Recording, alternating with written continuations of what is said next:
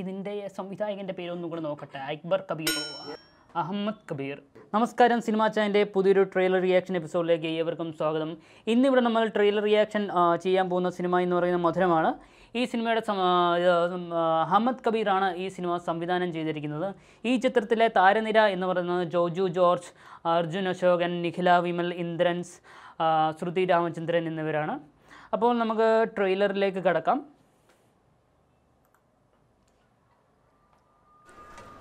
അപ്പു പാത്തു പപ്പു. ആ ഹലോ. റോയ് ചേട്ടാ ഈ നാല് പേഷ്യന്റെ ബൈസ്റ്റാൻഡറിനോട് ഒന്ന് ഓട്ടി വരെ ചെല്ലാൻ പറഞ്ഞു സോ ഫാസ്റ്റ്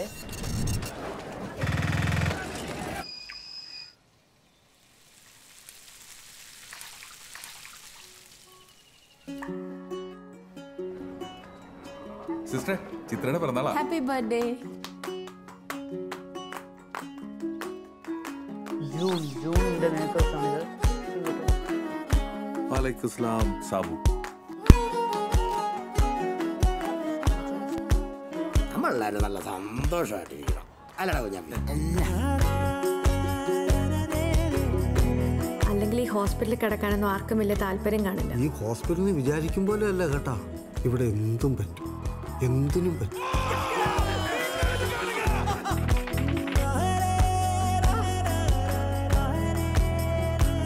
നല്ല തേങ്ങാ ചമ്മന്തി ഒരു പപ്പടവും ഇച്ചിരി അച്ചാറും പിന്നെ നല്ല തേങ്ങാപ്പാലിൽ മാങ്ങിയിട്ട മീൻകറി. എങ്ങനെയുണ്ടാവും? പൊളിക്കും. വാ. വാ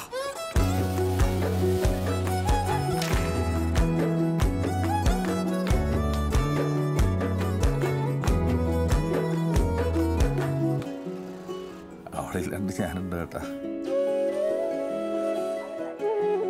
അത് കഴിച്ചു കഴിഞ്ഞിട്ട് കിട്ടുന്ന ഒരു നീന്തുണ്ട്. നീന്തോ? സാബു ഒന്ന് മാറ്റി പിടിച്ചാലോ രാഹുൽന്നോ രോഹിത്നോ സാബു ചേട്ടൻ ഒരു ഫാമിലി മാൻ ആണല്ലേ? ഫാമിലിയായിട്ട് ചോദിച്ചു തുടങ്ങിയാൽ പിന്നെ എനിക്ക് ഭയങ്കര ഇഷ്ടമാണ് എല്ലാവരും കരുതുന്ന പോലെ ചിരിച്ചും കളിച്ചും ഒരു വിഷമമില്ലാതെ ജീവിക്കുന്നത് മാത്രമല്ല ജീവിതം. ഇതും ജീവിതമാണ്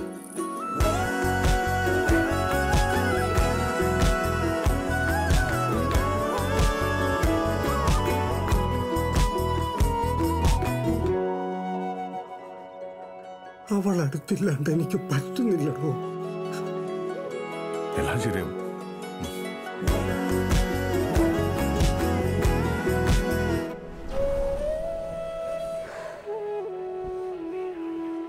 ഈ പ്രൈവറ്റ് ഹോസ്പിറ്റലും ഗവൺമെന്റ് ഹോസ്പിറ്റലും തമ്മിൽ ഡിഫറൻസ് എന്താണെന്ന് അറിയോ കേട്ടാ ഓ.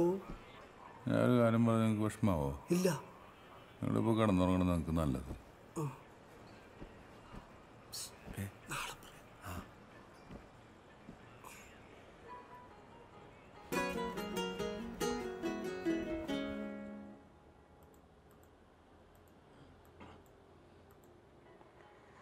അപ്പോൾ